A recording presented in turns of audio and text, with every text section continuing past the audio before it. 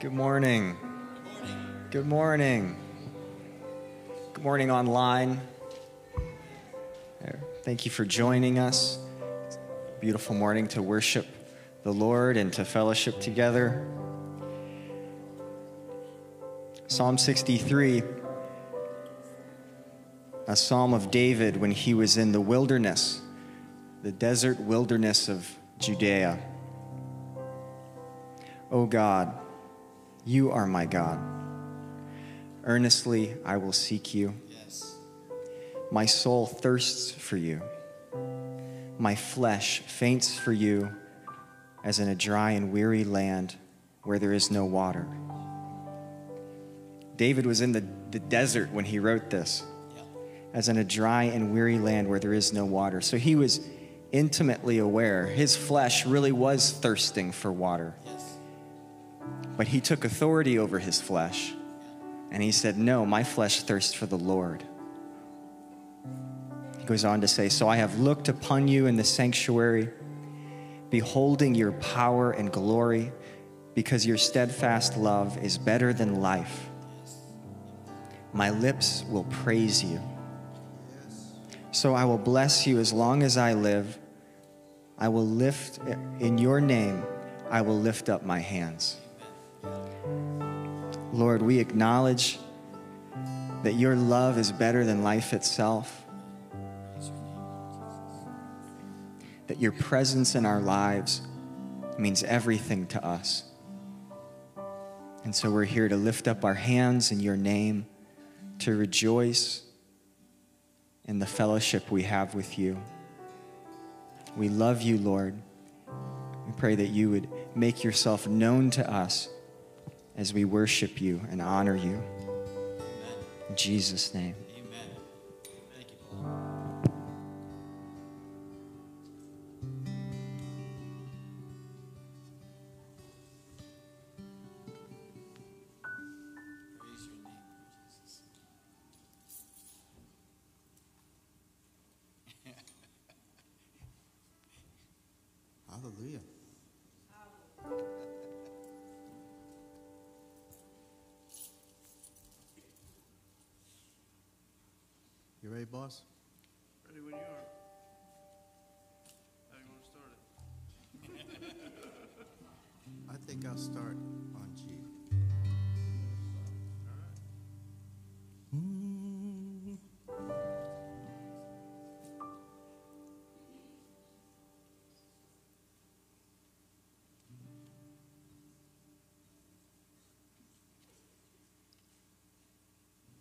Why don't you guys start for a change?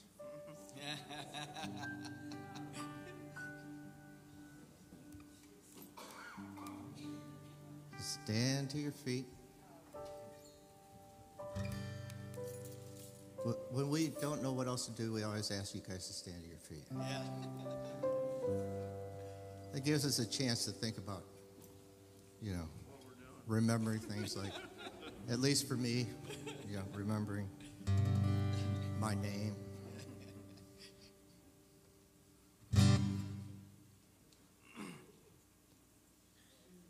All right, say this. Oh, I like that. There she is. Is crazy life? I What's it- want to say something Okay. How unusual.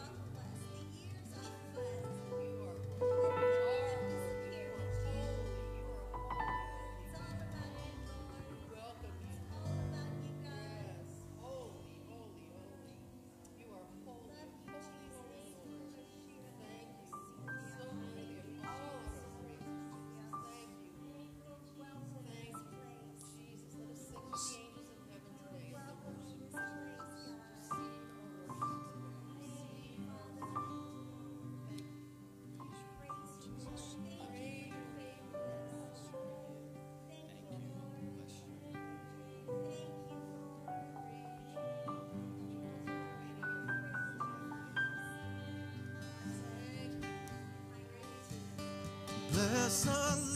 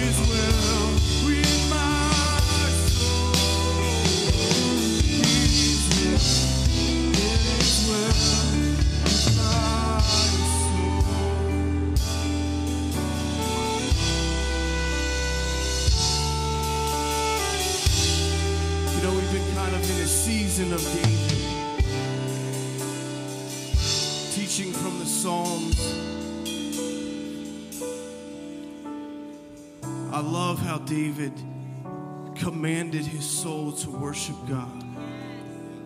Because the reality is, there's so many times I wake up on a Sunday morning and my butt's dragging from the week, and I don't feel like doing this.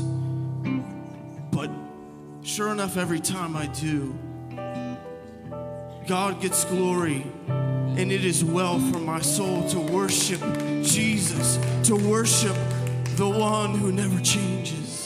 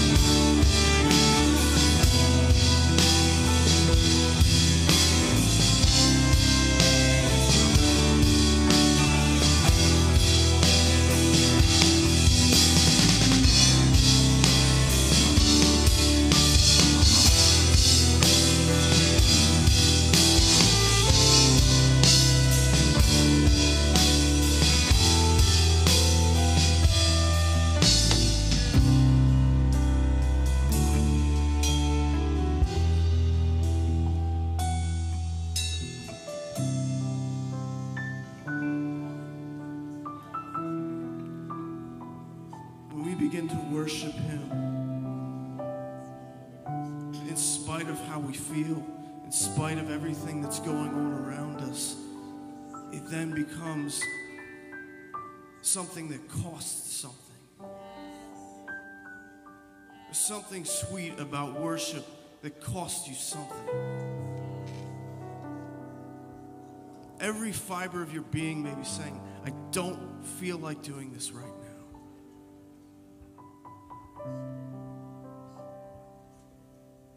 That spills over into everything in life. I'm going to teach my son to do things that are difficult. That's not an American principle, that's a God principle.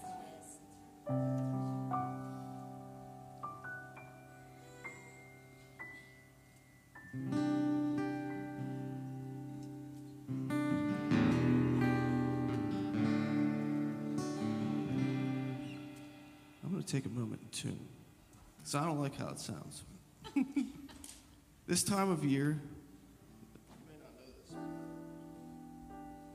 it's hard on guitars. So continue in your praise.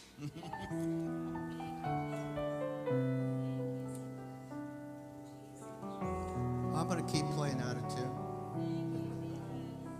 Because the Lord, He loves a joyful noise. Amen. Yeah. That would be me.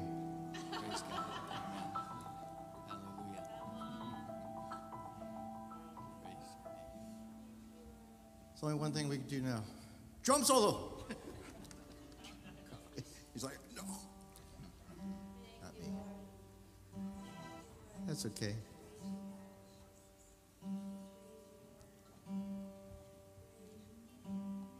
I told you to buy a Martin.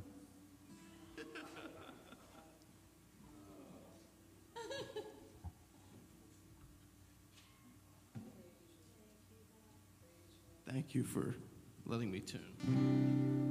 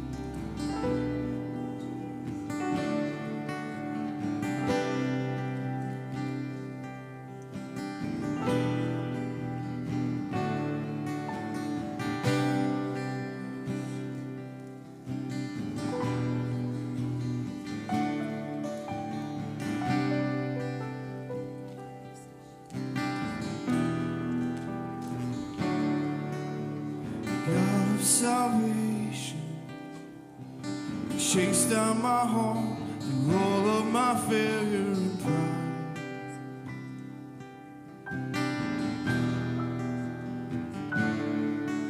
On the hill you created, light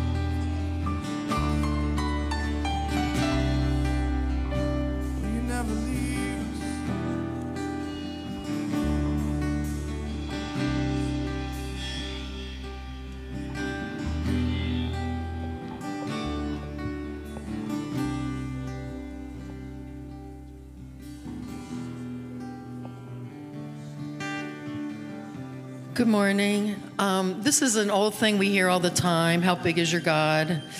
How big is your God? And I think it's something we got to be reminded about because it's like those scriptures you hear all the time. You kind of just shut your brain off. Uh, I heard that one. But anyway, um, sorry, getting this off my phone, and my phone just doesn't want to stay on it. Um, Pastor Rich said something. You know when somebody says something that sticks in your head? I, don't remember what teaching it was, but he said about when God spoke the word to create creation, he just spoke it and it kept going. And it hasn't stopped yet today.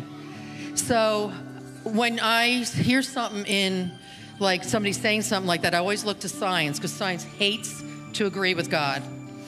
So this is the facts about our universe. Um, however, if we once again assume that our Milky Way galaxy represents an average type of galaxy, we can calculate that there are roughly 150 billion stars born per year in the entire universe. This corresponds to about 400 million stars born per day, or 4,800 stars per second. That's how big your God is. His, he just says it once and it keeps creating. He spoke to you once when he created you, once. Who you are. He put it in your DNA once. And it's not changing. He's still working in you. It's still going out. He's still creating you. We keep creating new cells. I forget how many cells we create every day. He is the father of creation. There is no death or darkness found in him. So if there's any death around you, that's not from God. God is about life and creation. He's creating. He's creating you to be who you were supposed to be when He saw you before you were born. When He said, Stephanie, this is who you are. This is who I'm creating you to be at the beginning of time. We were all created before time. And when we came, so He's not done working on you. Don't give up. If you're in a place where you feel like it's done, it's over, it's not over. Listen to me. God is still working, He's taking you through this. Don't give up. Four- 4,800 stars just were created in this. I don't even know how many in the last couple seconds, but in this last second that I'm looking at you, He's creating you. Don't give up. He's still creating you.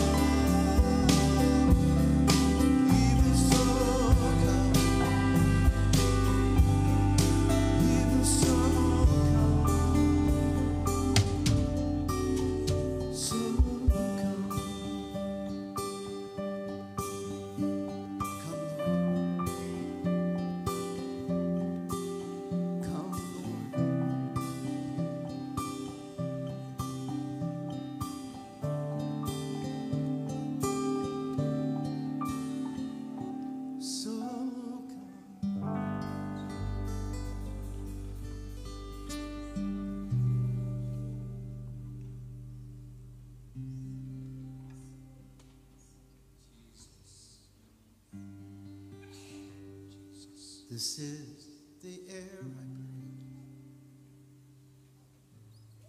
breathe. This is the air I breathe. You are.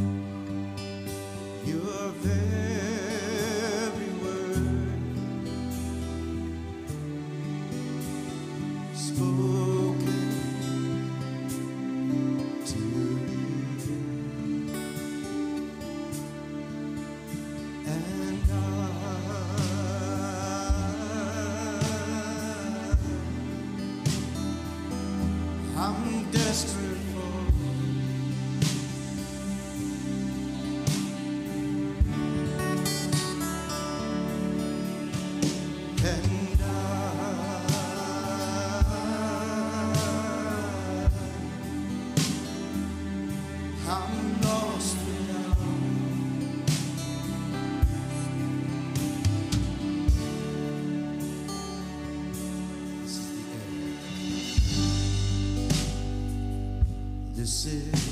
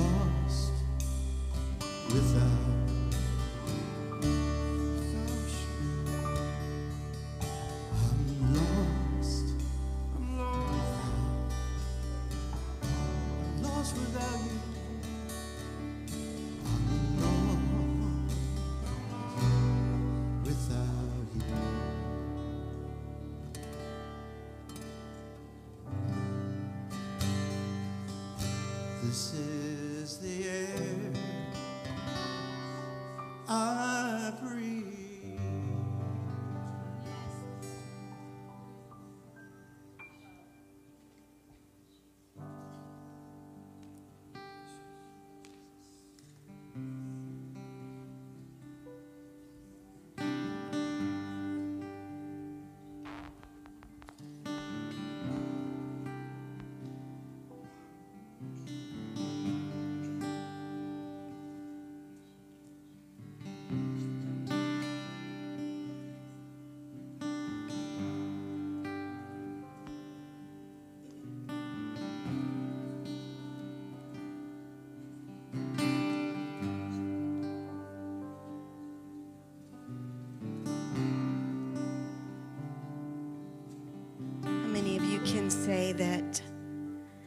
you're desperate?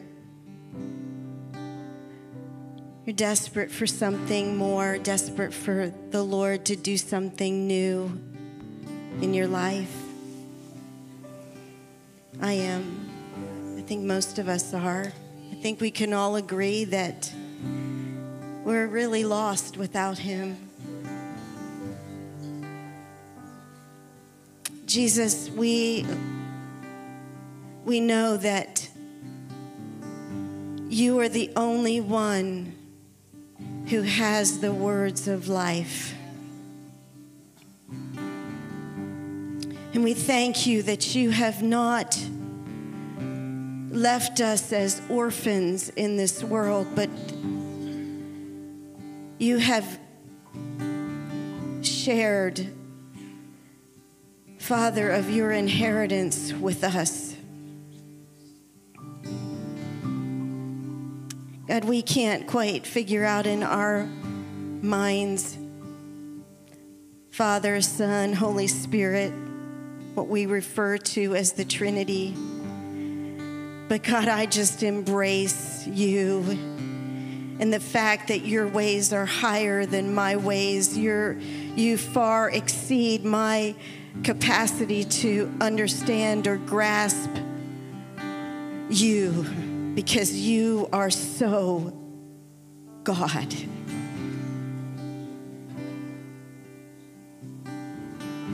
And I'm not. We've been created by you. We have been chosen by you. We have been given a place where we can come into relationship with you, and we are so grateful for that.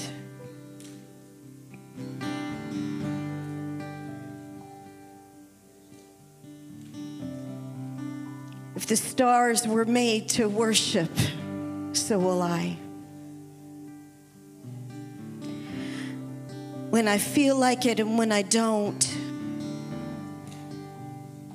when things are going well and things are not going so well, I will choose to worship you because you are so worthy. You are so worthy. You are so worthy, God. We exalt you. We invite you, Holy Spirit, to do what you want to do in our lives. We invite you. We welcome you. We welcome the work of the Spirit in our midst. And we make no apology for that. We welcome the work of the Holy Spirit. Holy Spirit, come. Come. Even so, come. Have your way. Not my will, but yours be done. In the midst of decisions that we are trying to make, in the midst of sickness, in the midst of heartache, in the midst of, of life, God, we, we just come to you. We rest in your love. We trust in your sovereignty. We trust in who you are. We put all of our faith and all of our hope and all of our trust in you, God. God, I thank you that even now you are with everyone who is in the sound of my voice, whether they are present in this room or they're in their home right now. You are present with your people. You're present with those who can't hear my voice. You are present. And we invite you, Holy Spirit, to go into the very secret places of men and women's hearts all around our community, throughout our government, throughout um, our families. God, we just invite you to come. Would you shine your light into the places, oh God, that need to be illuminated, that need us to see you in the midst of those places, in the places where even the enemy would, would want to keep hidden inside of us, to keep us from being effective. God, would you shine your light into those places? And would you bring us into alignment with you in a way that is so effective.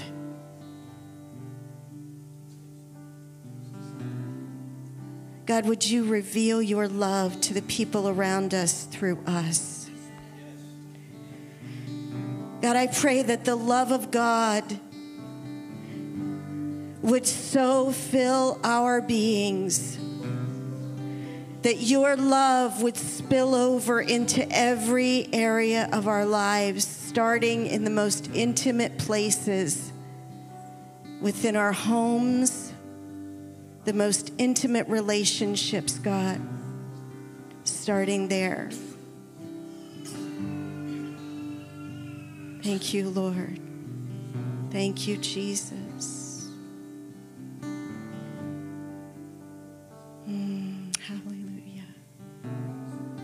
Praise your name, Lord Jesus. God, would you just visit families who are sick this morning and just lay your hand on them? We just speak healing right now in the name of Jesus to those who are suffering in their bodies. Just speak a healing word over you, Joe and Carolyn, over you, Becca. Sinus and allergy season and headaches, and God over Hannah and Annie. God, those who are just suffering with, with just allergies, God, we just pray that you would come and you would just speak a word of healing in Jesus' name. Thank you, Lord Jesus. Just speak healing into marriages, into families.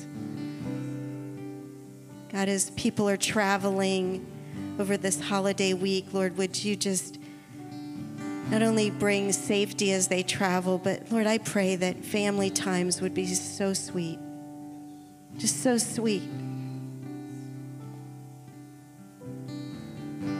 Because we have so much to be thankful for. So very much to be thankful for. Thank you, Lord. Thank you, Lord. Praise your name. That feels better.